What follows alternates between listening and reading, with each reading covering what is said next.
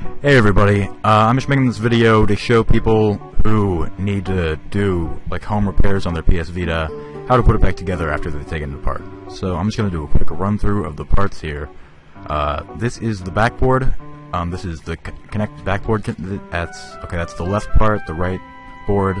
Uh, that's the mini board that goes where the mama board under. Left stick, right stick. Uh, that's the ABC. Um, up. Those are some stickers. I don't these are the screws that hold the whole thing together. Uh, this okay, this is the back, the front back. Um, under here we got a Vertaloff the Ancient. Uh, over here there's a little metal thing that's part of the main chips. That's LR, but so that's it basically. Um, and now I'm gonna show you how to put the stuff together. So.